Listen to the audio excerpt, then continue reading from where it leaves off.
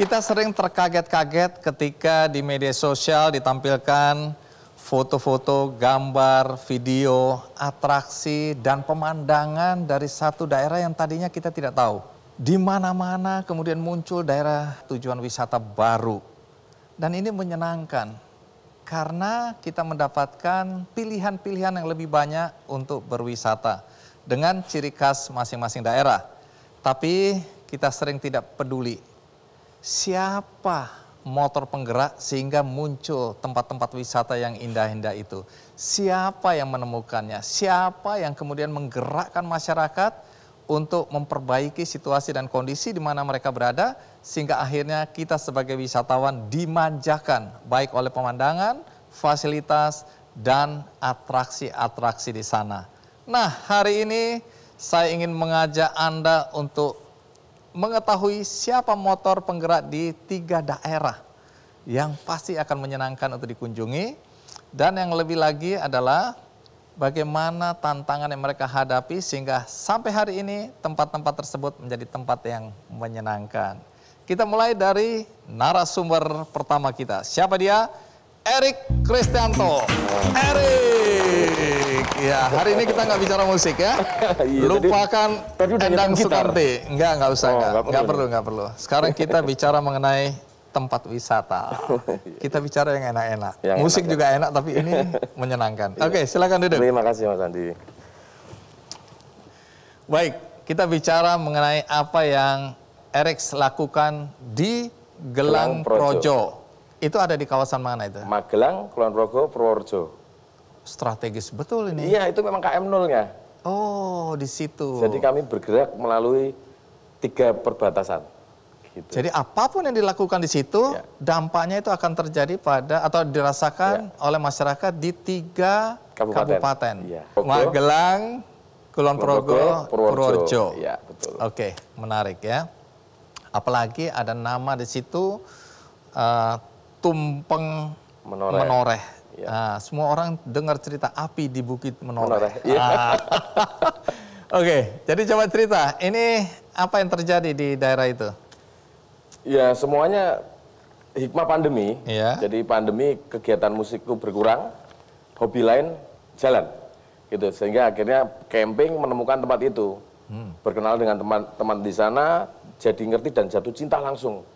Karena secara live aku ditunjukkan keindahan alam yang luar biasa yang dimiliki uh, Gelang Projo. gitu. Ini di desa mana persisnya kegiatannya? Desanya itu agak bingung ini Bang Andi. Jadi kalau desanya itu ikut dusunnya ikut ngelinggo. Ngeling- Ngelinggo. Jalannya itu ikut ngelinggo. Ngelinggo. Ya. Terus? Kalau tanahnya ini ikut Ngargoretno. Oke. Jadi Magelang, Kulon Progo. Jadi ini posisi tempat yang memang unik ya. Iya, camping di situ, lalu jatuh cinta di situ, berkenalan dengan teman-teman di situ, mulai tergerak untuk tinggal di sana. Ini berapa tahun yang lalu cerita ini? Pas pandemi, dua tahun yang lalu. Oke.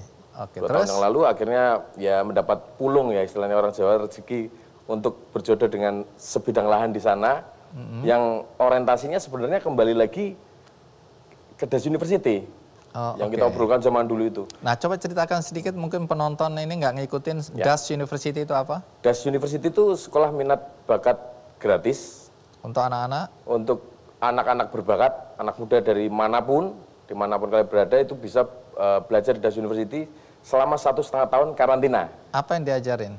Sekarang ini ada animasi, 3D modeling, programmer, desain UI UX. Kok bisa gratis dari mana biayanya?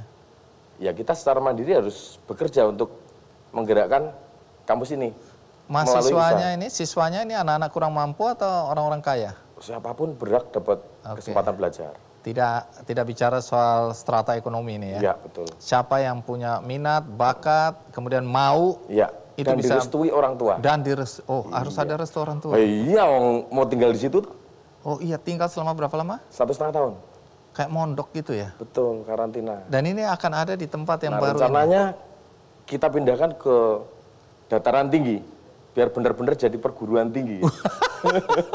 Iya iya. Apa mau dikasih akreditasi, mau dikasih sertifikasi ada atau enggak? Yang Iya. penting sekolahnya sekolah tinggi. Perguruan tinggi ya. Oh perguruan tinggi, tinggi banget. Mm, Berapa bener-bener ketinggi, ada- berapa ketinggian di sana ya? 1000 mdpl. Ush, tinggi banget. Itu betul itu. Iya. Jadi Nah, perguruan tuh- tinggi yang benar-benar tinggi ya di situ. Iya. Kemarin kan kita sudah sempat mau bangun itu, sudah dibersihkan. Ha-ha. Cuman kan pandemi kok nggak kelar-kelar. Ini sedangkan Endang Sukamti juga nggak aktif-aktif. Kerjaan lain juga terbengkalai. Jadi ini sepertinya kita harus membuat sesuatu yang sifatnya bisa menjadi ATM untuk Dasi University juga. Ah, untuk keluarga saya juga. Dan untuk masyarakat juga. Jadi itu yang terpikirkan. Ya, Mengubah itu menjadi daerah wisata. ya betul sekali. Oke, menarik. Nanti apa yang dilakukan Ya. dan sehebat apa sih alam di sana dan keindahan di sana sampai aku juga mulai tergoda ini ya. Nah, kita saksikan dulu liputan berikut ini.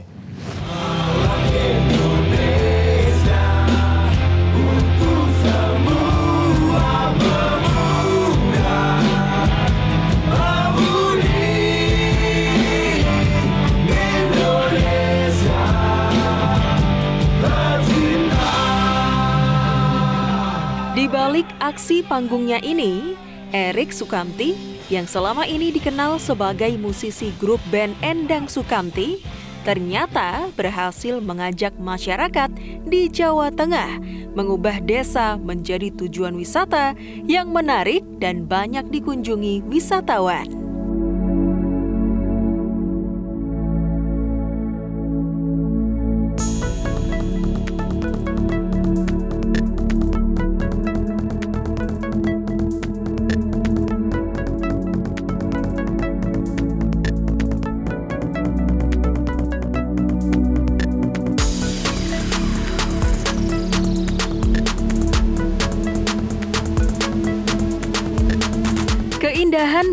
Menoreh yang terletak di Magelang, Jawa Tengah ini salah satu yang berhasil menjadi destinasi wisata baru yang mendatangkan banyak wisatawan.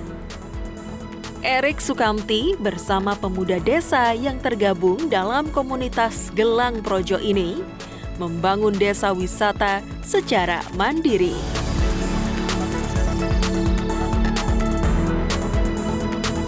Mas Erik ini luar biasa sih, influencer, mereka sangat sosialis dan eh, sosok yang berkembang bareng bersama masyarakat, tidak menggeser nilai-nilai lokal yang ada, justru memperkuat dan dan dengan hadirnya Mas Erik ini benar-benar nuansa Gelang Projo ini semakin semakin jadi, artinya eh, paguyuban terus eh, rasa memiliki ini semakin tumbuh dan berkembang di sana.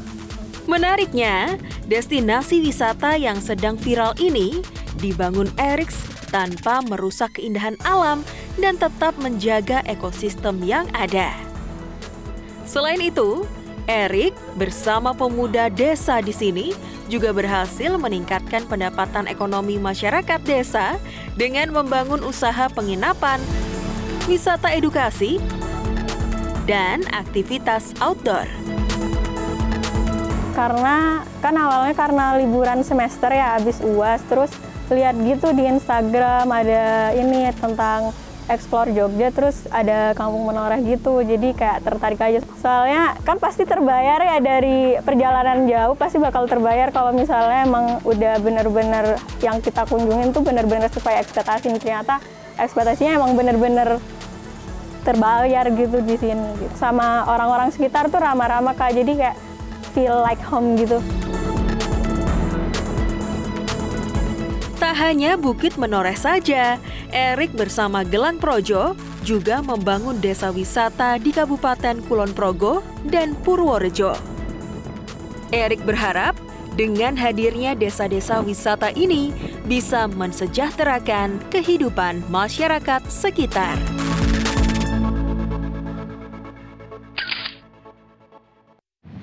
Nggak nyangka loh. ya. Jadi aku nggak kebayang seorang Erik kemudian punya gagasan dan mampu menggerakkan masyarakat. Itu kan yang paling susah itu. Jadi waktu datang pertama kali dan ngajak masyarakat gimana? Karena aku dengar masyarakat di sana nggak gampang itu untuk diajak-ajak.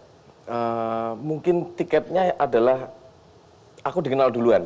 Jadi banyak kamtis di sana. Oh, oke. Yang tadi aku nyanyi Iya. depan-depan itu banyak dari situ. Oh, oke. Jadi tiketnya mungkin dari situ jadi agak sedikit kalau ngomong tuh didengerin lah daripada yang lain. Hmm. Karena di situ tuh yang menarik Mas Andi. 50% cowok itu pernah masuk penjara. Hah? 50%, cowok 50% laki-lakinya pria pria itu masuk pasti pernah berurusan dengan penjara. 50-nya lagi? Belum ketangkep. Untungnya udah insaf duluan. Iya, iya sebelum ketangkep udah Iya. insaf. Jadi apa kasusnya nih? Macam-macam. Semuanya Ini karena- kebanyakan sih judi. Ini karena kemiskinan atau? Daerah situ tuh daerah judi, Pak.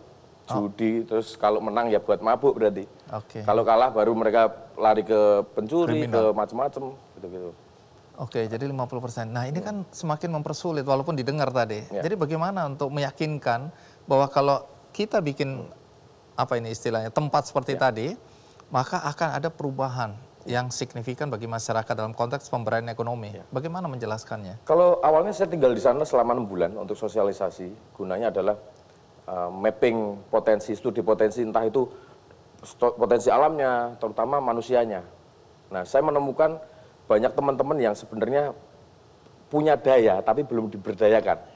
Gitu, ada yang ahli di eh, mechanical, perbengkelan, bahkan off-road, pertukangan, bangunan, ada aktivis lingkungan juga banyak di situ. Jadi ketiga kabupaten ini premannya tak kumpulin dulu. Oke. Istilahnya gendo-gendonya penggerak-penggerak lokalnya tuh kumpulin dulu duduk bareng untuk membuat sebuah kesepakatan untuk membuat namanya Akamsi Gelang Projo. Akamsi Akamsi Gelang? Projo ini komunitas uh, dari ketiga kabupaten ini untuk bergerak bersama melalui pariwisata yang harapannya bisa menyejahterakan masyarakatnya. Nah, masyarakat di sana tadinya pekerjaan utama mereka apa? Uh, Rata-rata petani, petani, peternak gitu. Oke, terus kesiapan mereka untuk ini kan hospitality, Ya, ya. Di mana orang kemudian harus menservis. Budaya servis itu udah ada atau belum di sana? Kalau kemarin kita sengaja eh, datangkan teman-teman yang memang sudah ahli, seperti ada chef dari Wonosobo, terus teman-teman dari perhotelan untuk ngajarin juga. Jadi untuk servis tamu yang benar seperti apa itu semuanya sambil jalan. Jadi banyak komplain di awal-awal itu memang benar-benar dijagain dan itu menjadi pelajaran untuk kita gitu. Oke. Belajar langsung menghadapi tamu langsung. Tamunya itu ya guru kita juga Oke. sekalian gitu. Dari situ bisa merasakan ini Iya. ada yang kurang dan kemudian dievaluasi gitu ya. Dan itu membuat kami dengan tamu itu jadi deket, Mas Andi. Mereka itu kayak memiliki juga karena mereka juga banyak mengajar kita tentang servis yang baik dan benar seperti apa gitu. Nah, apa pun cerita ya, lepas dari tadi gotong royong, Iya. kan modal harus ada. Dari mana modalnya? Modalnya itu mengubur satu hobi yang dulu dilarang ibu saya, Apa itu? terbang. Oke, jadi apa Jadi yang di- dulu kan belajar terbang, jadi pilot, beli pesawat, sampai akhirnya jatuh. Habis jatuh pesawat diperbaiki, terbang lagi. Setelah terbang dapat license baru sama ibu saya dilarang untuk terbang lagi. Yang saya dengarkan ibu saya gitu, jadi bukan ego saya. Maka pesawat itu tak jual pas momennya pas dengan pembangunan kampus itu. Jadi akhirnya uangnya dari jualan pesawat itu tak alihkan ke bangun kampus, di stop karena secara logis ekonominya nggak akan jalan kalau kita nggak bikin ATM-nya Iya.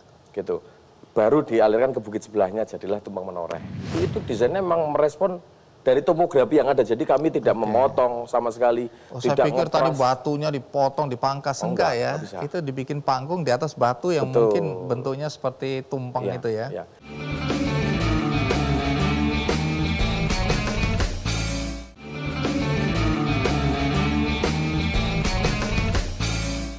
Ya, selain tantangan, tentu banyak orang udah menunggu-nunggu. Emang ada perubahan apa dengan adanya eh, tempat wisata seperti itu? Iya. Tapi sebelum sampai ke sana ya, tadi aku lihat ah, disebut ada zona, zona. Emang pembagian zona ada di situ?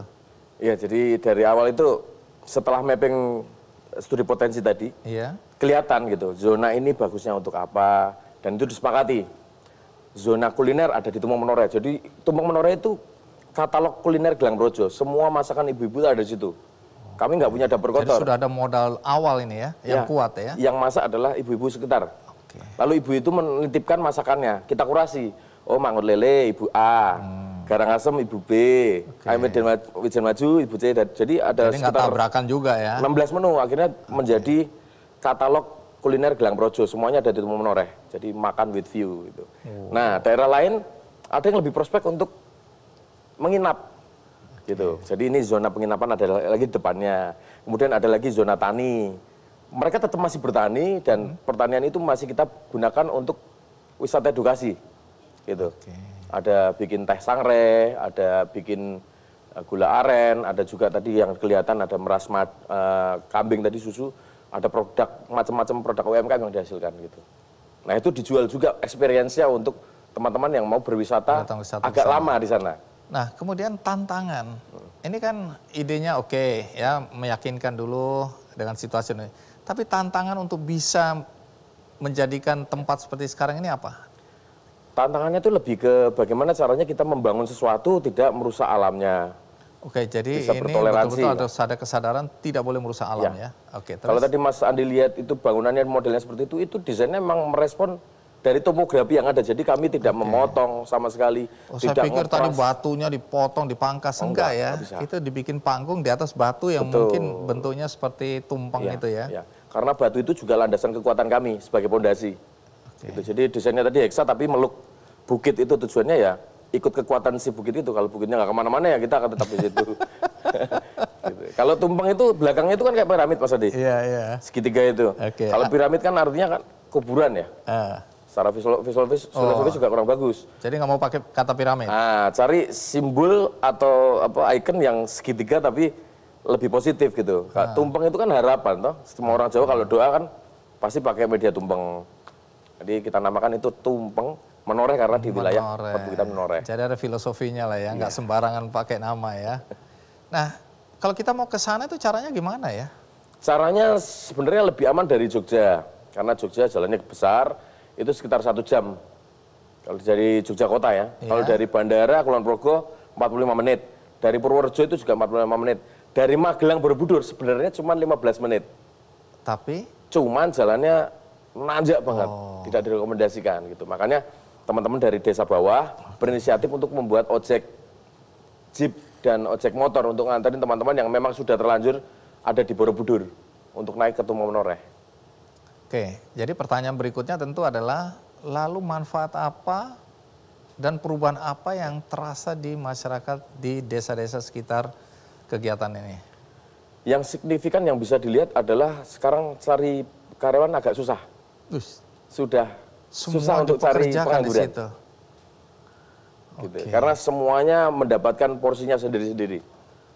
Ada yang jadi terlibat dari karyawan, ada yang sampai sekarang masih develop karena kita pengembangan terus, ada juga yang masuk ngurusin jeep, tadi ada yang odong-odong, ada yang parkir, semuanya terlibat. Odong-odong ada di sana. Ada. Bikin odong-odong sendiri Mas Andi. Oke. Jalannya kan nggak bisa bis gede, jadi tamu-tamu yang bis gede itu parkir bawah, Bahwa di shuttle. Oke, Pakai sama odong-odong dan lain-lain itu ya. Gitu. Baik. Ke depan apa rencana untuk mengembangkan ini? Tentu ber- Ya. berkaitan dengan pemberdayaan ekonomi masyarakat di sana ya. Ya, kalau misi saya pribadi kan sebenarnya memindahkan kampus ya. Oh, Tapi- kampus ya. Ya, Gimana cerita tapi kampus? karena eh, kewajiban dan keharusan saya harus membangun segenap masyarakatnya, jadi Ini prioritas. prioritasnya adalah Gelang Projo. Oke. Di mana kalau Gelang Projo semuanya siap, ya kampus pasti lebih mudah untuk dipindahkan lagi karena masyarakatnya juga siap, baik infrastruktur maupun eh, sosialnya semuanya siap. Ini pemberdayaannya mandiri atau atau ada bantuan pemerintah? Mandiri, semuanya mandiri, swadaya. Swadaya. Ya, siapa pun boleh berinvestasi. Ada Mas Melki, ada Mas Soim. Jadi teman-teman warga itu juga selain berkontribusi eh, material, juga kadang-kadang ide dan macam-macam gitu. Jadi ini masih menerima modal untuk investasi di sana atau? Masih pengembangan terus. Oh, masih. Artinya banyak ide yang belum Ya. dieksekusi Iya, ya. betul. Oke, Erik, terima kasih Terima banyak. kasih, Mas Ini Andi. menginspirasi banyak anak muda di mana pun ya, Iya. bahwa sesuatu yang tadinya dianggap biasa-biasa saja, Ya. tapi kalau ada ide kreatif yang masuk ke dalam situ dan mampu meyakinkan masyarakat di wilayah tersebut, maka bisa jadi tempat-tempat wisata yang eksotik, yang Ya. menarik, dan itu ujung-ujungnya ada pemberdayaan masyarakat di situ ya, ekonomi, sosial, Membuat ya, masyarakat budaya. berdaya. Iya, masyarakat yang berdaya. Oke, terima kasih inspirasinya. Terima kasih Mas Sampai Andi. ketemu Sampai di ketemu lagi Gelang Projo. Gelang Projo. pada akhirnya eh, selama enam bulan itu ya kami, saya dengan Pak Haji Sauban juga dianggap sebagai orang gila. Karena eh, itu tetangga baru tuh kerjanya siang malam ngechatin rumah tetangga. gitu. tembok aja.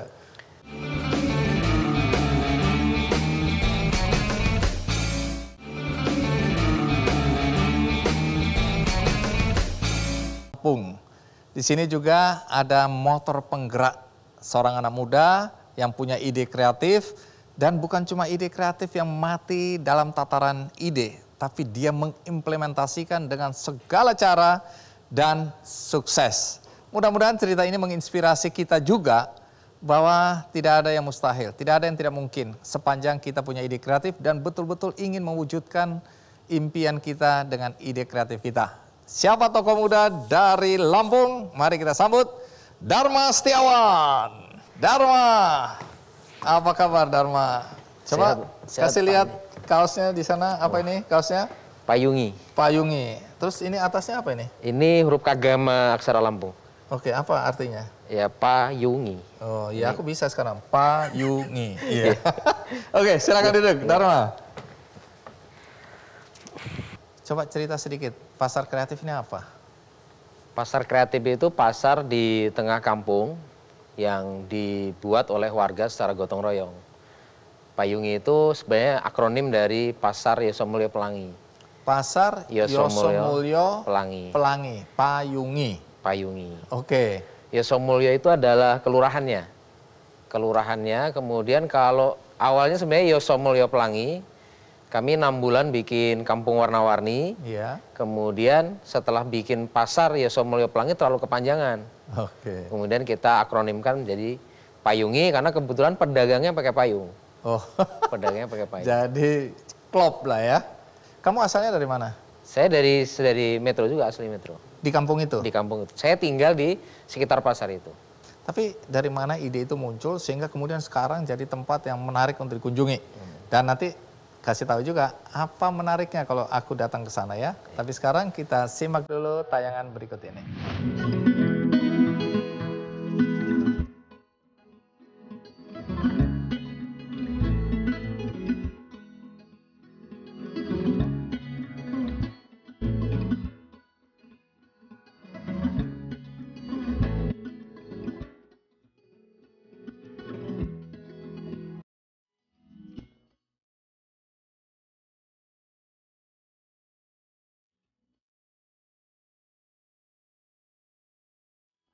Pada tahun 2018 bulan April itu Mas Dharma kan beli tanah sebelah rumah saya. Terus eh, ketika beliau eh, sudah bertempat tinggal di sini, kami sering ngobrol-ngobrol karena sesama istilahnya tetangga dekat. Kami ya sering jamaah bareng di musola, terus kita diskusi habis sholat gitu.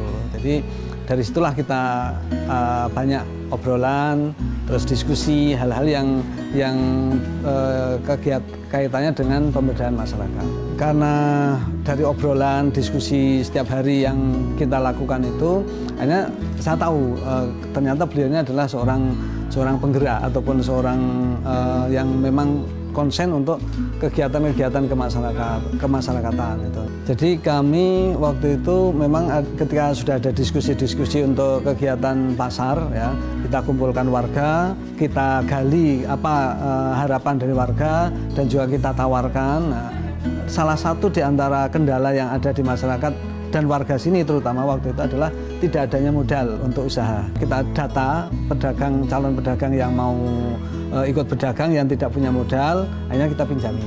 Dengan dengan perlahan perlahan setiap gelaran itu pada nyicil nyicil, alhamdulillah selama jangka satu tahun setengah lah mereka sudah bisa melunasi dari apa yang dipinjam dari musola itu, modal usaha dari musola. Alhamdulillah dengan adanya payungi memang eh, ekonomi masyarakat kita tumbuh ya. Yang tadinya itu ibu-ibu rumah tangga yang hanya bahasanya mengandalkan hasil eh, kerja suami yang akhirnya dengan adanya payungi ikut berdagang paling tidak setiap minggu sekali punya penghasilan bisa membantu daripada penghasilan suami. Kita sangat bersyukur dengan adanya kehadiran Mas Dharma walaupun di lingkungan kami Yoso Mulyo RT 21 terutama itu baru hitungan uh, masuk empat tahun ya karena 2018 sampai sekarang 2022 ini uh, masuk empat tahun ini uh, cukup cukup luar biasa untuk uh, memberikan dampak positif kepada masyarakat. Pak Yumi itu satu tempat ya dari sekelompok masyarakat yang berada di satu kelurahan gitu kan hadir di situ. Nah, ke depan juga kita ingin ya mana kebaikan-kebaikan itu ya harus dihadirkan. Dan tentu yang lain bisa melakukan. Tetapi tidak copy paste. Orang beraktivitas itu memang dibuat mulai dari lingkungannya juga gitu. Dia bisa mengembangkan ekonomi. Seperti Pak Yungi itu kan satu putaran sudah 60 juta cash flow yang beredar di situ. Dalam tiga tahun berdiri ini nggak kurang dari 5 sampai 6 miliar yang sudah jadi ada keberlanjutan yang saya inginkan begitu, ada keberlanjutan bisa ditiru ya bentuk satu model pilot project apa yang bisa. Tentang tentu pemberdayaan-pemberdayaan. Dan jangan pernah mengatakan bahwa itu kita bukan. Itu saya apalagi. Dan itu adalah kita bersama. Jadi apa betul? Tadinya ini kampung di sana atau pasar di sana nggak terawat ya? Tadinya, Aslinya. tadinya bukan pasar pak. Oh, tadinya memang apa? tadinya saya saya sebenarnya warga baru ya. Saya Iya. warga baru.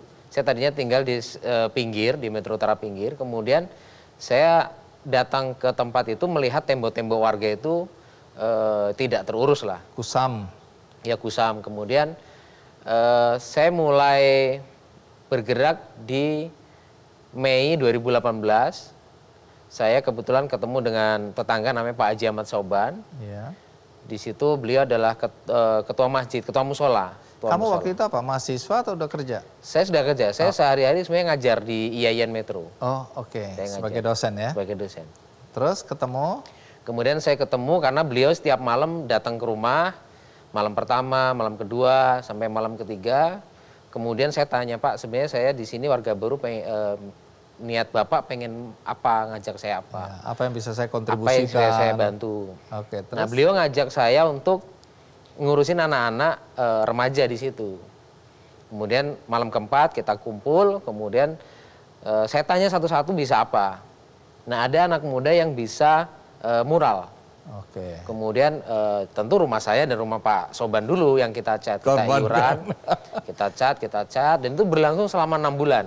Dengan gaya mural. Ya dengan geometri, mural, ada gambar dulu, ada tokoh-tokoh pahlawan, ada bahkan gambar tokoh-tokoh seperti Munir. Niatnya seperti, apa sebenarnya niat awalnya itu? Eh, tembok itu sebenarnya eh, membatasi interaksi, tapi setelah kita warnai, kemudian orang saling menyapa. Oke. Jadi pada akhirnya eh, selama enam bulan itu ya kami, saya dengan Pak Haji Sauban juga dianggap sebagai orang gila. Karena eh, itu tetangga baru tuh kerjaannya siang malam ngecatin rumah Nyoret-nyoret tetangga. tembok aja. Terus Mbak, bagaimana menjelaskan ke masyarakat hari itu? saat itu saya juga tidak bisa menjawab. Tapi ada beberapa orang yang memang tertarik dan pengen bantu chat. Misal kayak Pak Asep, seorang pengusaha lokal, saya bisa nih chat kampung ini bantu gitu. Tapi saya menolak karena kita pengen eh, orang berkorban satu chat tapi ikut ngechat. Oke, jadi keterlibatan. Ya, ini keterlibatan seperti pemberdayaan tadi bahwa ini supaya dimiliki oleh masyarakat banyak. Tunggu, tunggu. Itu orang-orang mulai tertarik untuk ngecat rumahnya sendiri karena dapat penjelasan apa ini? Eh, sebenarnya lebih ke anak muda, ke Oh, anak anak muda. muda, oke. Nanti mereka tertarik setelah kita di bulan Oktober bikin pasar nanti. Jadi setelah enam bulan, Iya. kemudian enam saya di- bulan ini ngecat aja. ngecat aja sampai bulan Oktober awal. Kemudian saya bilang sama Pak Haji Sauban, Pak gimana kalau suatu saat di bawah pohon bambu ada pasar, ada orang makan kuliner. Nah sepertinya Pak Haji Ahmad Sauban juga mulai curiga dengan saya. Kenapa? Ini kayaknya tetangga saya juga aneh lagi, gitu kan? Jangan-jangan gila beneran. Jangan-jangan gila beneran, tapi kayaknya Pak Soban juga akhirnya ikut gila. Kami kumpulkan mama, kemudian kita ajak bikin pasar, kemudian tidak ada yang percaya. Tunggu dulu, ini bambu ini tadinya tempat apa ini? Bambu Kosong gitu aja? Kosong aja, sampah, banyak sampah, Oh, banyak oke. sampah. Terus? Lalu kemudian saya melihat ada problem pertama modal, kedua adalah dengan apa kita mempromosikan. Dan yang ketiga mereka pertanyaan yang sulit kami jawab adalah kalau tidak laku siapa yang nanggung modalnya. Modalnya Saya- dari mana? Wah, modalnya dari musola. Musola. Di musola itu ada kas 15 juta, saya lihat itu dan memang yang megang adalah Pak Haji Soban. Oke, terus Tapi gimana? sebenarnya proses ngechat tadi udah banyak orang berbuat baik. Iya. Ya nyumbang satu, dua, lima chat dan sebagainya. Kita kerjakan gotong royong. Nah pada tahap pembuatan pasar ini ada kas musola 15 juta dan itu saya dengan Pak Haji Ahmad Soban yang kalau itu tidak balik, saya dengan beliau akan balikin tapi nyicil. Harus pakai ka- uang di kantong sendiri lah, kira-kira gitu ya. Iya, saya kan saya nanya Pak Pak Haji ini kok ada tulisan di musola itu 15 juta. Itu Ah. yang megang siapa? Heeh. Ya saya Mas. Terus Gimana kalau kita pinjamkan untuk modal pasar yang mau kita bangun ini? reaksinya? Kalau nggak balik, ya saya sama Pak Haji yang balikin. Terus mau? Bismillah kata dia. Ya udah Bismillah. gitu. Oke, jadi yakin juga dengan gagasan ini. ya? Yakin. Oke, ya, terus? kayaknya jadi jadi ikut gila tadi mungkin ya. Setelah itu kami gotong royong terus, eh, kita tata bawa pohon bambu itu kita bersih bersih. Jadi dokumentasinya udah lama itu mungkin di di Instagram yang paling awal itu ada sampah-sampah bahkan daun-daun tuh sampai numpuk-numpuk gitu. Setelah itu 28 Oktober kita mulai eh, mendeklarasikan pasar pasar ya Somulyo Pelangi tadi itu. Nah, gimana cara ngajak ibu-ibu atau masyarakat untuk jualan di tempat itu? Kan ini ini pasar yang dibentuk tanpa ada konsumen kan sebelumnya ini. Belum ada konsumen, Ah, memang bukan bagaimana? pasar. Bagaimana? Kita promosikan di Instagram. Oke. Kemudian kita isi- eh, di Facebook, kemudian juga kita upload di YouTube. Eh, gelaran pertama kita alhamdulillah dapat 16 juta, Pak Andi. Hah? Jadi hari Enam- pertama aja Iya, udah 16 juta. 16 juta. Itu termasuk besar atau Ya masih kecil itu omset kayaknya. Omset yang mereka akhirnya laporan. Karena dulu kita pa- pakai pakai koin kayu lah, kayu. Kayu itu kita saya ada mahasiswa yang bisa Iya. buat kayu itu kita tulisin angka 1, Jadi 5 sebenarnya gitu. kayak mata uang lah ya? Iya. Jadi kita harus beli itu kayak token lah. Iya. Kita harus beli. Tapi kita hentikan akhirnya. Oh, kenapa? Karena setelah omsetnya di atas 20, kita eh, sulit. Jadi nuker lagi, balik lagi ke depan, nuker lagi, balik lagi ke depan. Apalagi sekarang omset kami sudah 60 juta, di atas 60 juta. Wah, sombong ini ya. Minggu kemarin malah 70. Wih, padahal pandemi nih. Pandemi Sudah kita dibuka dikit lah ini. pandemi kita diminta libur tiga bulan. Ah, Tapi habis itu mama protes, tapi akhirnya kita pakai prokes total. Terus sekarang udah biasa lagi. Oke, Udah biasa 70 juta. 70. Itu satu kali gelaran satu kali istilahnya ya. gelaran. Jadi apa sebenarnya yang dijual di situ ya? Kami sebenarnya eh, secara tangible pasar, tapi secara intangible sekarang udah macam-macam yang kita kembangkan. Apa misalnya? Ada Payung University. Kalau tadi Mas Erik ada Das University. Iya. Kami itu satu tahun setelah Payungi berdiri, kami bikin sekolah desa. Nah kita naungi sebagai Payung University. Jadi ada anak-anak muda datang ke kampung kami, nginep dua hari satu malam, kemudian belajar teknis enam materi tentang social mapping, pendidikan pemberdayaan, kemudian eh, ruang kreatif, pentahelik, kreatif Siapa hub. yang ngajar? Yang ngajar tim kami yang sudah bergerak selama satu tahun lebih. Anak-anak muda ini kemudian kami berdiskusi bangun materi dan mereka mau nginep dan kami juga tidak eh, bicara biayanya berapa. Yang penting kami tidak nanggung makan mereka aja kami senang. Oke. Alhamdulillah sekarang ada 20-an pasar di Lampung yang kami dampingi. Pasar. Oh, jadi ini diduplikasi di beberapa Iya, tempat sekarang. di kabupaten-kabupaten lain. Jadi kalau bicara begini berarti utang dari masjid tadi udah Oh, udah dilunasi ya? lunas, udah lunas sebelum setahun udah lunas. 10 kali gelaran kayaknya udah lunas. udah lunas. Jadi nggak ada utang, nggak ada Nah sekarang ya? sekarang malah eh, mama ini kan setelah gelaran, Uh-uh. jadi sebelum gelaran sedekah makanan, sedekah makanan ke eh, suami mereka, yang notabene suami mereka adalah eh, penjaga-penjaga parkir, sedekah makanan. Kemudian setelah gelaran mereka infak. Nah infaknya ke mana? Ke musola tadi. Oh, jadi Nah. sekarang kembali tuh uang mengalir ya. Sekarang musola kami dua lantai.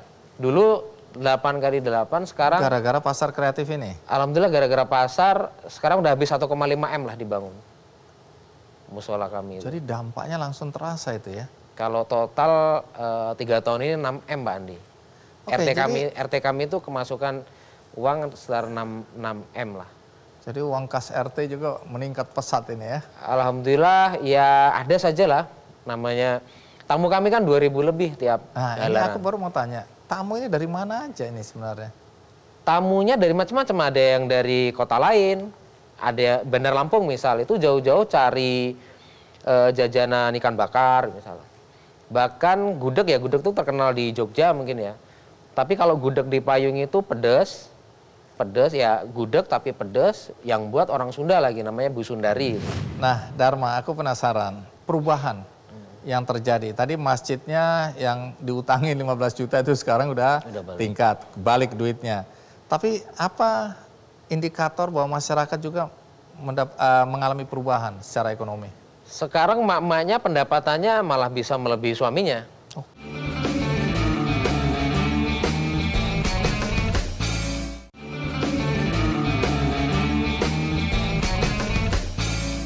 Nah, Dharma, aku penasaran perubahan yang terjadi. Tadi masjidnya yang diutangin 15 juta itu sekarang udah, Udah balik. tingkat, balik duitnya. Tapi apa indikator bahwa masyarakat juga mendap- eh, mengalami perubahan secara ekonomi? Sekarang mak-maknya pendapatannya malah bisa melebihi suaminya.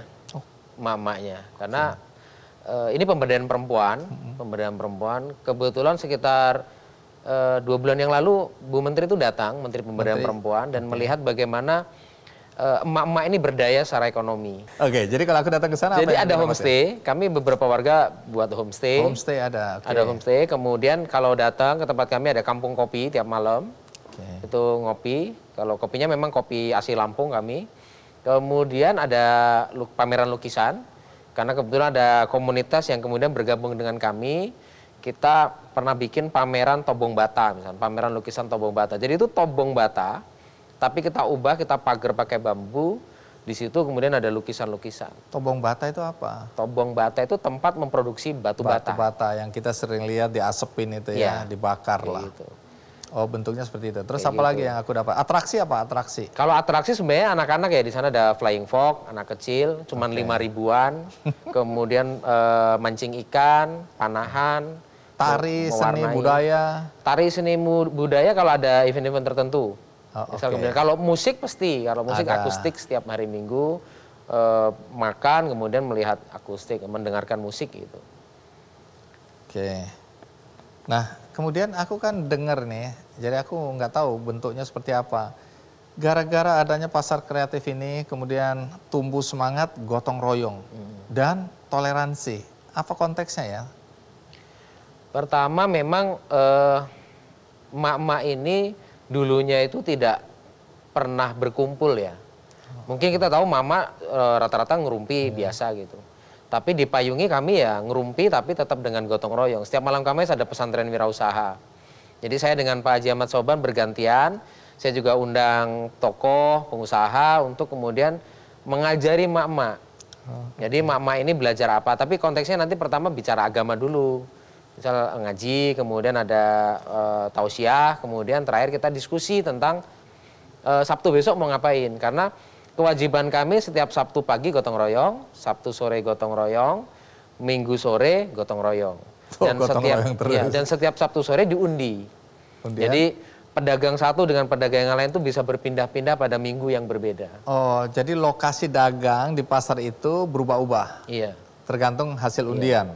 Kenapa Tujuannya apa? Kenapa begitu? Karena pedagang ini biasanya kalau gotong royongnya dulu hanya di sekitar situ saja, maka Iya. dia hanya akan membersihkan lingkungan situ. Oh. Tapi kalau diundi dia tidak tahu besok mau di mana. Jadi dia bersihkan semua di mana pun dia disuruh bersihkan dibersihkan, itu ya, Dibersihkan. karena bisa-bisa itu nanti akan tempat dagang dia. Bahkan mereka bikin peraturan sendiri Pak Andi. Kalau mereka tidak komitmen terhadap aturan itu, mereka nanam rumput satu meter. Oh, oke. Supaya mempercantik kampung kami kan ada banyak rumput yang ditanam untuk keindahan. Gitu. Ada sanksi, tapi sanksinya positif. Sanksinya ya. positif. Toleransinya di situ. Toleransinya lebih kepada juga misal eh, kita bicara yang non Islam, yang Islam non Islam agama yang berbeda, suku yang berbeda, bahkan kuliner yang berbeda-beda itu kemudian juga menunjukkan bahwa kita ini eh, mungkin ilmu gastronomi ya kalau kuliner itu ya itu kita punya kekayaan yang dahsyat sekali yang beragam. dan sebenarnya saya tidak banyak melakukan apa-apa kecuali kami mengembalikan lagi kuliner warisan nenek moyang pada satu teritorial sebuah uh, pasar kreatif yang tadinya bukan pasar lalu mama akhirnya belajar banyak tentang bagaimana uh, kuliner satu dengan yang lainnya tadi. Bahkan kayak tadi ada Bu Sundari sebagai seorang Sunda kemudian bikin kuliner gudegnya gudeg Jogja tapi pedesnya pedes Lampung misal. Jadi itu menunjukkan bahwa uh, keberagaman itu menarik gitu loh bahkan uh, kita tidak bicara agama hanya Islam uh, apa di luar Islam tapi kita bicara bagaimana satu sama lain itu mau saling belajar. Sekarang kalau Sabtu pagi misal mak-mak besok pagi gitu kayak Bu Ros, Bu Tri tetangga-tetangga itu dulu kan kita gerakan. Sekarang mereka jadi penggerak. Kalau hari Sabtu mereka upload di Facebook mereka Hello guys, jangan lupa datang ke Payungi. Mak-mak, hello guys. Mama, setiap hari Minggu jam 6 sampai jam 11 dan mereka upload dagangan mereka. Mereka upload dagangan mereka. Oke, menarik. Terima kasih Dharma sudah bercerita Sama-sama. tentang sesuatu yang membuat aku yakin banyak orang juga terinspirasi.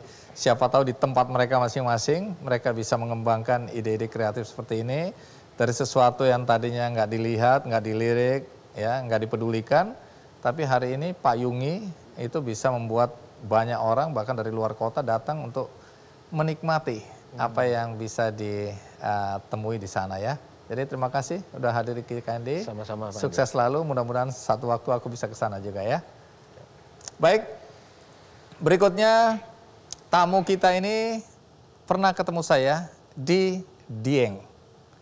Karena waktu itu saya diajak oleh Bank Indonesia untuk melihat Uh, program sejuta tanaman kopi untuk petani-petani di Dieng. Dan di sana saya berkenalan dengan uh, tokoh pemuda ini. Dari situ saya baru tahu ternyata apa yang saya lihat selama ini melalui uh, video-video uh, yang beredar di media sosial berkaitan dengan Dieng Culture Festival, motor penggeraknya adalah pemuda ini. Jadi saya senang sekali waktu bisa ketemu dan karena itu saya ajak ke Kick Andy untuk menceritakan apa yang dia lakukan dan pengalamannya. Sehingga siapa tahu ini memberikan ide baru juga buat Anda. Dan siapa tahu ini menjadi tujuan wisata berikutnya bagi Anda yang sudah bosan dengan situasi dan kondisi di rumah saja. Asal tentu saja dengan protokol kesehatan.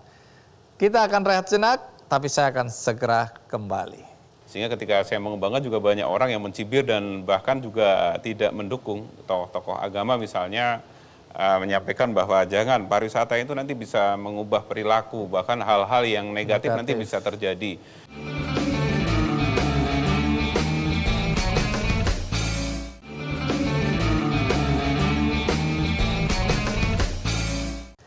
Mungkin sebagian dari Anda sudah dengarlah Dieng tapi apakah semua tahu apa yang terjadi di sana sekarang? Perkembangan apa yang menarik untuk disimak? Nah, hari ini saya mengajak seorang pemuda yang menjadi motor penggerak adanya Dieng Culture Festival. Siapa dia? Mari kita sambut Alif Fauzi. Mas Alif, ketemu lagi kita ya. Sehat? Ya, Silakan duduk. Mas Alif, Dieng Culture Festival itu apa? Ceritakan. Terima kasih. Uh, jadi mengatakan Dieng Culture Festival ini tidak lepas daripada perjalanan sebenarnya uh, Pak Andi. Jadi uh, hal ini tidak lepas dari perjalanan saya yang awalnya hanya, hanya pemuda desa, tiba-tiba uh, mendapat amanah menjadi ketua pemuda di tahun 2005. Dalam perjalanannya tentu uh, saya ingin keluar dari zona nyaman uh, karena pada waktu itu sebagai masyarakat Dieng semua ingin menjadi petani. Padahal uh, puncak gunung ini kan sempit tidak seluas yang di dataran rendah dan di situ uh, ketika saya menjadi ketua pemuda banyak permasalahan terjadi di uh, daerah saya. Apa aja masalah di, di sana? Jadi karena uh, pemuda membantu orang tuanya dengan lahan yang sempit kadang jam 8 9 sudah selesai. selesai. Sehingga kadang mereka hanya di pinggir jalan melihat kanan kiri ganjil genap plat mobil lama-lama tahu sendirilah ya.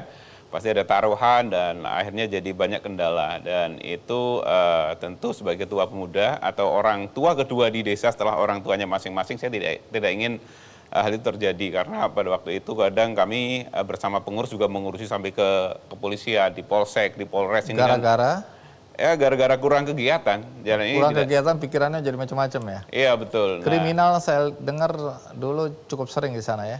Iya betul. Jadi karena pada waktu itu juga eh, walaupun dia sudah menjadi daerah pariwisata, tapi wisatawan masih sepi. Sabtu Minggu paling lima mobil kalau tidak salah. Jadi sore-sore kadang muda saya juga satu dua sempat dengar ada yang eh, mohon maaf dulu ada yang sempat eh, meminta uang lebih tidak standar atau malak bahasa Pemerasan ya. rasanya. Jadi Ini kan dulu Dieng kan kita udah kenal lama. Iya, betul. Tapi dulu mungkin hanya pada alamnya aja ya. betul. Nggak ada atraksi apa-apa di sana atau kurang lah ya. Iya. Oke. Jadi ini berkaitan dengan perjalanan hidup Anda. Sekarang sampai di sini dulu. Tapi kita rehat dulu karena kita akan melihat video tayangan berikut ini.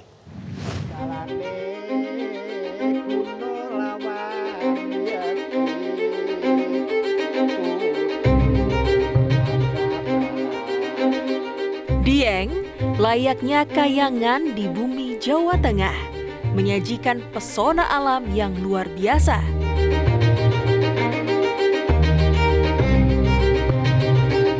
Keasrian alam Dieng memiliki segudang potensi wisata yang tak pernah habis menarik para wisatawan.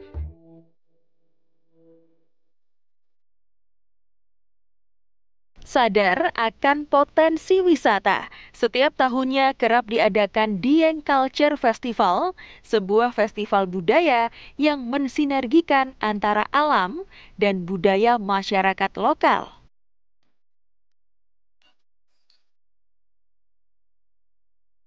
Gagasan kegiatan ini tak terlepas dari sosok Alif Fauzi, putra daerah yang sadar akan pengembangan potensi Dieng. Alif adalah ketua kelompok sadar wisata Dieng Pandawa dan penggagas Dieng Culture Festival. Tahun 2006 menjadi langkah berat Alif mengembangkan pariwisata Dieng. Namun, ia mempunyai mimpi besar untuk Dieng. Ayah tiga anak ini pun mulai membangun kesadaran masyarakat mengelola potensi sumber daya alam di desa. Proses tidak mengkhianati hasil. Sekarang, Dieng menjadi destinasi favorit wisatawan. Masyarakat Dieng pun merasakan manfaatnya dari sektor ekonomi seperti rumah warga yang dijadikan homestay untuk memfasilitasi para wisatawan serta bangkitnya para pengusaha UMKM. Setelah mungkin wisata dikenal, UKM-nya juga maju, naik, tarikan juga dikenal masyarakat, ya Alhamdulillah banyak eh, banyak produksi habis terus, habis terus, habis terus, sampai kita juga merekrut karyawan juga banyak, per bulan katakanlah bisa 200-300 juta. Jerih payahnya berbuah manis. Berbagai penghargaan pernah diraih. Salah satunya Anugerah Satya Lencana Pariwisata pada tahun 2018. Ke depan, Alif dan komunitas Pok Darwis akan terus membuat formula baru untuk pengembangan pariwisata Dieng.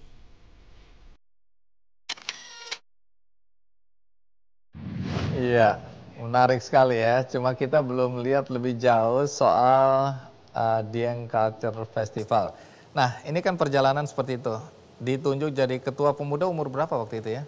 Eh, pada waktu itu sekitar umur sebenarnya sudah 2000 eh, 23 tahun sebetulnya. 23 tahun, ya relatif masih muda ya. Iya, nah, apa yang dilakukan pertama kali untuk tanda kutip ya, membenahi situasi dan kondisi yang tadi diceritakan? Ya, tentu saya harus menciptakan kegiatan baru dan alhamdulillah pada waktu itu saya mendapatkan anugerah yang luar biasa di depan mata saya ada eh, peninggalan budaya, ada alam yang begitu indah.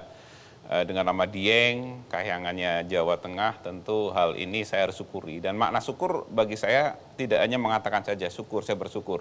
Tetapi saya harus mengaplikasi itu. Eh, Ketika saya ingin menambah nikmat daripada syukur yang saya lakukan, maka saya harus bertindak. Dan uh, pada waktu itu saya bersilaturahmi ke beberapa uh, lembaga dan badan yang ada di daerah dinas pariwisata. Saya menyampaikan bahwa uh, adanya uh, pariwisata di daerah kami, apakah ada pembinaan dari pemerintah pada waktu itu, ataukah saya harus membuat satu organisasi? Karena seingat saya ketika saya adalah petani, saya ada pendampingan kelompok pertanian atau kelompok tani dan alhamdulillah bahasanya ada mas, tapi kamu harus buat uh, kelompok sadar wisata Pok Darwis atau awalnya juga banyak yang melemengkan kelompok Mudariowis yeah. dan lain-lain. tapi alhamdulillah dari situlah saya mulai aktif dan saya berkoordinasi dengan Bapeda, saya mulai uh, mengembangkan dengan melihat contoh-contoh uh, daerah pariwisata yang maju. Uh, yang paling dekat adalah Yogyakarta dan Borobudur. Di situ wisatawan ramai dan orang berdagang apa pun laku. Orang jualan bakso, kerajinan, bakpia eh, dan satu yang saya pernah alami adalah ketika saya mengawal wisatawan. Saya belum tahu apa itu guide. Uh, ketika saya dulu diajak uh, wisatawan uh, di mana ada penginapan saya di Dieng, masalah bisa enggak ini ada wisatawan yang ingin diajak muter-muter. Eh saya naik mobil bagus tiba-tiba saya dikasih tip. Oh ternyata itu itu kamu harus jadi guide. Kamu akan dapat uh, tip.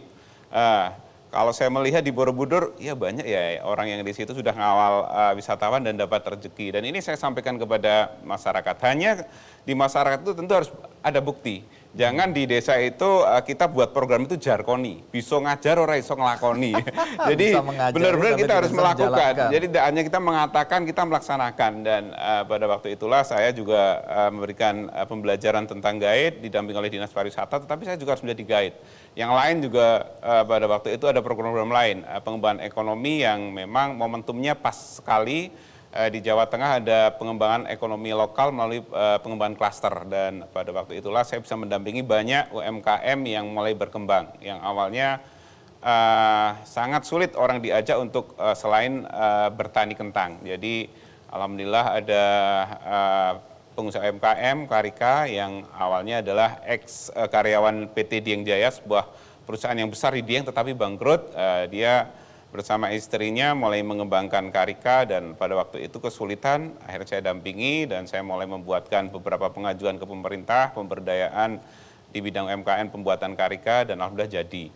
Nah sekarang kemudian Anda kan menggagas ide-ide uh, kreatif baru ya, apa karika tadi dan kemudian muncul seperti sekarang uh, itu menjadi tempat wisata yang menarik.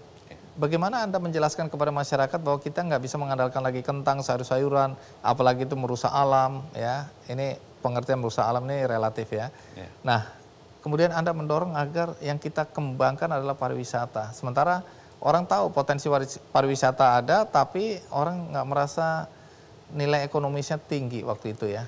Iya betul, apalagi uh, pada waktu itu belum seperti sekarang Pak Andi. Jadi uh, di waktu itu pariwisata belum begitu uh, menjadi daya tarik sekali untuk dikembangkan. Sehingga ketika saya mengembangkan juga banyak orang yang mencibir dan bahkan juga tidak mendukung. Tokoh-tokoh agama misalnya uh, menyampaikan bahwa jangan pariwisata itu nanti bisa mengubah perilaku, bahkan hal-hal yang negatif, negatif nanti bisa terjadi. Sampai akhirnya uh, saya sampaikan bahwa konsepnya adalah community based tourism, pariwisata berbasis masyarakat. Jadi pariwisata yang direncanakan, dikembangkan dan dikelola oleh masyarakat. Apa artinya? Jadi kitalah nanti yang mengembangkan. Uh, jadi uh, kalaupun uh, ke depan kalau ada investor, investornya adalah kita sendiri gitu loh. Dan pada waktu itulah uh, memang perlu proses untuk menjelaskan uh, sehingga harus perlu dibuktikan. Tadi sampaikan jangan sampai jarkoni. Bahkan pada hmm. waktu itu juga wah kamu buat program jangan programnya tuh teko, si tuku ora teko-teko, si teko ora gelem tuku. tuku. Jadi uh, yang datang nggak uh, beli-beli, yang beli nggak datang-datang. Iya, jadi sehingga pada waktu itulah uh, setelah kami mendapat penghargaan pertama di uh, penghargaan apresiasi Pok dari Jawa Tengah kami harus bermimpi apa ya yang yang yang tadi dikatakan sehingga nanti banyak wisatawan yang datang karena pada waktu itu wisatawan sedikit. Kalaupun sedikit mereka ke dia hanya mampir kencing terus pulang. Itu kan perlu kita tahan. Gak sehingga, ada yang nginep ya. Iya. Sehingga perlu adanya satu kegiatan yang sangat menarik untuk brandnya Dieng dan bagaimana kita menyampaikan bahwa selain daya tarik yang ada itu juga juga ada aktivitas masyarakat yang mereka bisa nikmati. Dan pada akhirnya kita membuat uh, satu event yang namanya Dieng Culture Festival di tahun 2010 nah, ini event pertama dulu. kami. Kami pengurus dan pemuda itu iuran awalnya. Iuran sendiri? Iuran sendiri. Jadi okay. uh, pada waktu itu Dieng Culture Festival memang namanya saja yang besar. Sebenarnya banyak juga yang mencibir juga. Wah sok-sokan buat nama kayak wah wah. Sekali gitu kan padahal apa kamu gitu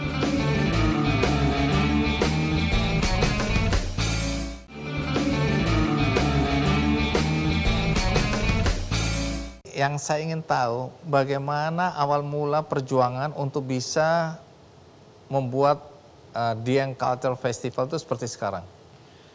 Baik, uh, Dieng Culture Festival awalnya sebetulnya jadi event yang membingungkan juga bagi kami karena kami ingin buat event tapi uh, tentu modalnya harus bagaimana. Jadi alhamdulillah pada waktu itu karena basic saya juga sebagai ketua pemuda dan Karang Taruna pada waktu itu maka kami pengurus dan pemuda itu iuran awalnya. Iuran sendiri. Iuran sendiri. Jadi okay. uh, pada waktu itu di Enggalter Festival memang namanya saja yang besar. Sebenarnya banyak juga yang mencibir juga, wah sok-sokan buat nama kayak wah-wah sekali gitu kan padahal apa kamu gitu kan. Nah, yeah. Tapi kami memang kami punya mimpi uh, saya sampaikan.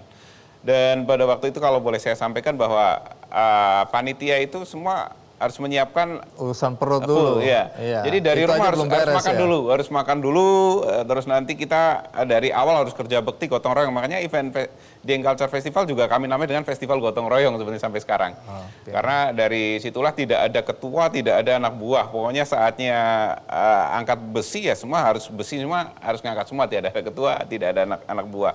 Dan semua harus dari rumah harus sudah kenyang dulu, sudah makan dan nanti Sampai ketika on event, yeah. itu di pra event kami harus gotong royong, di on event juga kami seperti itu. Jadi di jam 12 nanti kita rollingan. Ayo kak, siapa dulu pulang untuk makan makan siang di rumah nanti Tidak datang lagi. disediakan di situ ya. Yeah. Gotong Dan, royongnya pas-pasan lah ini ya. Yeah. Dan betul yang ditampilkan juga sebenarnya masih sederhana, tapi memang target kami sebetulnya uh, paling tidak karena dalam uh, pariwisata setelah kami punya atraksi, uh, kami kembangkan usaha-usaha masyarakat melalui amenity, dan accessibility kalau dalam ilmu pariwisata, maka perlu ada branding, advertising, selling. Jadi sebetulnya uh, tujuan kita ke situ, bagaimana kita mengangkat brandnya Dieng. Dan melalui Dieng Culture Festival itulah, alhamdulillah uh, target kami secara uh, pemberitaan, di promosi, kami uh, di awal mulai berhasil. Banyak media yang datang, maka saya selalu sampaikan terima kasih pada para media yang akhirnya Dieng Culture Festival seperti ini, apalagi dulu belum eranya medsos kan. Nah, coba ceritakan dengan sederhana apa yang terjadi atau apa atraksi yang ditampilkan di Dieng Culture Festival ini?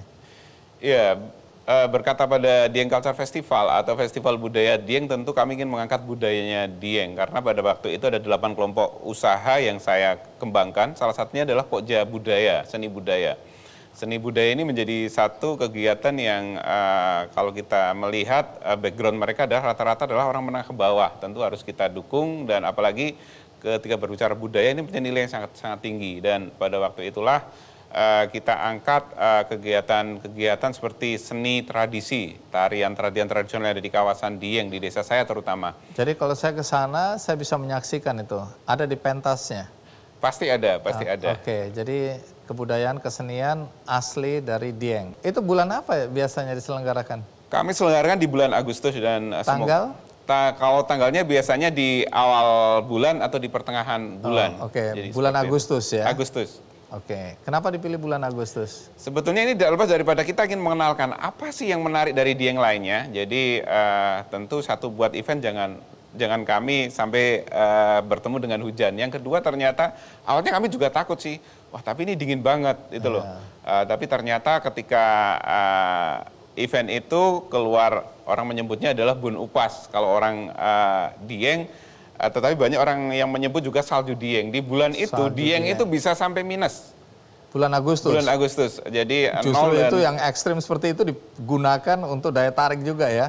Iya. Sempat kan sampai frozen apa uh, beku itu ya, beku, ya, kentang-kentang jadi busuk gara-gara ada bunga-bunga salju, bunga-bunga es ya. Betul, betul. Tapi itu nggak se ekstrim itu rata-rata ya. Biasanya dingin, tapi sampai beku begitu nggak? Iya, jadi sebetulnya uh, embun yang membeku sebetulnya. Memang uh, plus minus juga sih untuk para petani agak dirugikan. Tetapi satu sisi memang ini ternyata ini rezeki yang maha kuasa akan diberikan kepada yang lain sebagai orang Dieng.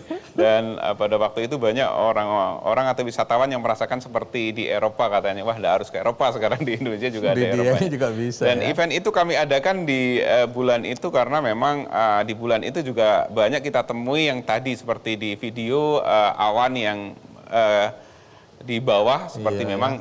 Uh, maknanya adalah bahwa Dieng itu seperti Kayangan. negeri di atas awan. awan. Nah, maka salah satu pagelaran jazznya juga kita namai dengan jazz atas awan dan memang ini juga lucu sebetulnya karena konsep community based tourism adalah pariwisata berbasis masyarakat. Kami tidak memakai IO, jadi semua itu semua belajar. Jadi teman-teman eh, pemuda Dieng yang notabene pembelajaran apalagi tentang event juga terbatas, mereka tidak tahu awalnya apa sih bed state manager, apa sih LO, tapi ah, alhamdulillah dalam perjalanannya mereka mulai mulai tahu. tahu. Bahkan mungkin suatu saat ada salah satu eh, artis yang mereka juga malah terhibur dengan LO LO lokal yang, eh, Yang mohon kadang-kadang maaf, salah-salah ya, pokoknya asal jalan saja gitu loh. Ya. Nah, yang menarik juga di sana tadi festival untuk rambut gembel itu ya. Rambut apa? Gembel ya. Ya, gembel atau gimbal. Gimbal gembel gitu ya. Nah, itu gimana itu festival itu daya tariknya tersendiri kan dari dulu sudah ada. Tapi oh, masyarakat sana tidak menyadari bahwa ini justru atraksi yang keren yang unik ya yang mungkin di tempat lain itu jarang ada. Nah, itu bagaimana?